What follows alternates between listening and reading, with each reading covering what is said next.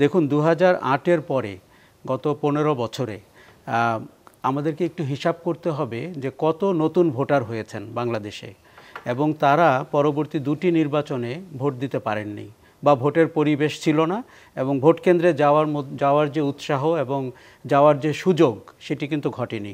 এবং এটি খুব গুরুতরভাবে আমাদের বিবেচনা করতে হবে। দেখুন, আওয়ামী লীগ, বিএনপির এই মুখোমুখি সংঘাত অথবা বিএনপি কতটা সন্ত্রাসী দল, অথবা কতটা রাজনৈতিক দল, এই বিতর্কের ভেতরে আপনি যদি এই দেশকে ভালোবাসেন, এই দেশের মানুষকে ভালোবাসেন এবং আপনি যদি সত্যি বিশ্বাস করেন যে তরুণরা বাংলাদেশের ভবিষ্যৎ, তাহলে বুঝতে হবে যে তাদের রাজনৈতিক সচেতনতায় আমরা কি ভূমিকা রাখছি। তাদের তাদের মানবিক মূল্যবোধ তৈরিতে আমরা কি ভূমিকা রাখছি? অথবা তাদের যে নাগরিক অধিকার, আইনের শাসন বলি অথবা তাদের যে সমান সুযোগের কথা বলি, তাতে আমরা কি ভূমিকা রাখছি? ইদানিং আমাদের একটা ন্যারেটিভ হয়েছে, উন্নয়নের ন্যারেটিভ সেই উন্নয়ন হচ্ছে ভৌত অবকাঠামোর উন্নয়ন। কর্ণফুলী নদীর নিচ দিয়ে টানেল এক্সপ্রেসওয়ে মেট্রো রেল, সবই জরুরি। এই শহর, এই জনজীবনের জন্য এগুলো খুবই জরুরি বিষয়। কিন্তু মানবিক মূল্যবোধ তৈরি করা, নাগরিক অধিকার প্রতিষ্ঠা করা, রাজনৈতিক সচেতনতা তৈরি করা এবং গণতান্ত্রিক চেতনা তৈরি করা, এগুলো কি উন্নয়ন না? এইগুলো কি কোনো মানদণ্ড না? এবং আমাদের দেশের আইনের শাসন সবার জন্য সমান। এই উপলব্ধি তৈরি করা কি কোনো উন্নয়ন না? কাজেই যারা মনে করেন যে এইগুলোতে নজর দেওয়ার দরকার নাই, ভৌত অবকাঠামো দিয়ে মানুষকে সাময়িকভাবে আমরা আমরা মানে মুগ্ধ করে রাখব, তারা কিন্তু একটা ভুল পথে বাংলাদেশকে চালিত করছেন। দেখুন, কোনোটির মধ্যে বিরোধ নেই। আমরা নাগরিক অবকাঠামো সুযোগ সুবিধা চাই এবং আমরা গণতান্ত্রিক চেতনায় সমৃদ্ধ বাংলাদেশ দেখতে চাই। কাজেই এই যে তরুণরা ভোট দিতে পারছেন না এই যে তরুণরা রাজনীতির পরিবেশে, দেখুন, একসময় বিশ্ববিদ্যালয় থেকে রাজনৈতিক নেতা তৈরি হতো। এখন কি সেই পরিবেশ রয়েছে? একসময় রাজনৈতিক অঙ্গন থেকে আমরা এমন সব পার্লামেন্টেরিয়ানকে পেয়েছিলাম, যাদের বক্তৃতা মন্ত্রমুগ্ধের মতো আমরা শুনতাম। আজকের পার্লামেন্টে কি সেই পরিবেশ রয়েছে?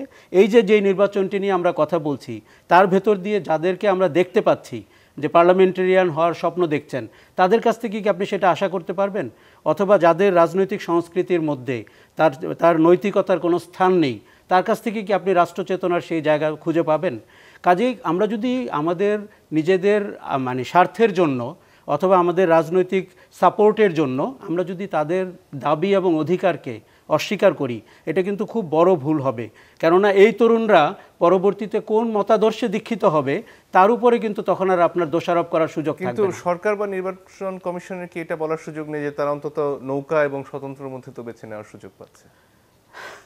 এটি এটি তো আমরা প্রথমেই কথা বলছিলাম যে নৌকা এবং স্বতন্ত্র তো দিন শেষে একটিই দল। কাজেই এই দেশে তো ওই দলের বিরুদ্ধে বা ওই দলের ভিন্ন দলের প্রতি মানুষের সমর্থন থাকতে পারে, অথবা ওই দলের রাজনৈতিক আদর্শের বাইরে মানুষের নতুন চিন্তাও থাকতে পারে। দেখুন, রাজনীতি হচ্ছে এমন একটি বিজ্ঞান, যেখানে প্রতিদিন আপনার নতুন চিন্তার উদয় হতে পারে, সৃজনশীলতার উদয় হতে পারে। তাকে কিন্তু খারাপভাবে দেখার সুযোগ নাই। কিন্তু বর্তমান কাঠামোতে তাকে অত্যন্ত খারাপভাবে দেখা হয়। আপনি রাজনীতিতে নতুন চিন্তার উদ্রেক করা মানেই আপনার কোনো একটা কুমতলব রয়েছে। কেননা আপনি নালে এই চিন্তা করছেন কেন? আপনি যে কথাটি বলছিলেন যে নির্বাচনের পরে অথবা জানুয়ারিতে দু হাজার চব্বিশ সালে আমি কেমন বাংলাদেশ দেখতে পাচ্ছি আমার ধারণা যে এই নির্বাচনটি গুণগত মানে মাঝারি মানের একটি নির্বাচন হতে যাচ্ছে। আমি এখন পর্যন্ত নিম্নমানের বলব না। নিম্নমান বলতে পারব নির্বাচনের দিনের পরিবেশ এবং তার আশেপাশের দিনগুলো দেখলে। কিন্তু মাঝারি মানের একটি নির্বাচন দিয়ে আমরা যেই বাংলাদেশে দেখুন ট্রিলিয়ন আমরা পাঁচশো বিলিয়ন ডলারের ইকোনমি আমরা ট্রিলিয়ন ডলারের ইকোনমি হতে চাই। কাজে ওইরকম একটি মাঝারি মানের নির্বাচন দিয়ে ওই জনপ্রতিনিধিদের দিয়ে ওই সরকারকে দিয়ে আপনি হয়তো অর্থনৈতিকভাবে যে দেখুন আমাদের রেমিটেন্স আছে গার্মেন্টস আছে কৃষি অর্থনীতি এখনও অনেক উর্বর সেই জায়গাটিতে আমরা অনেক দূর এগিয়ে যেতে পারব। কিন্তু রাজনৈতিক স্থিতিশীলতার জায়গায় অথবা রাজনৈতিক বা গণতান্ত্রিক যে প্রতিষ্ঠান গড়ে তোলার জায়গায় সেই জায়গাটিতে আমরা খুব সুবিধাজনক জায়গায় থাকব কিনা নতুন বছরে আমি সন্দিহান। ধন্যবাদ। জনাব রায় আপনার কাছে ফিরে আসি মাঝারি মানের নির্বাচন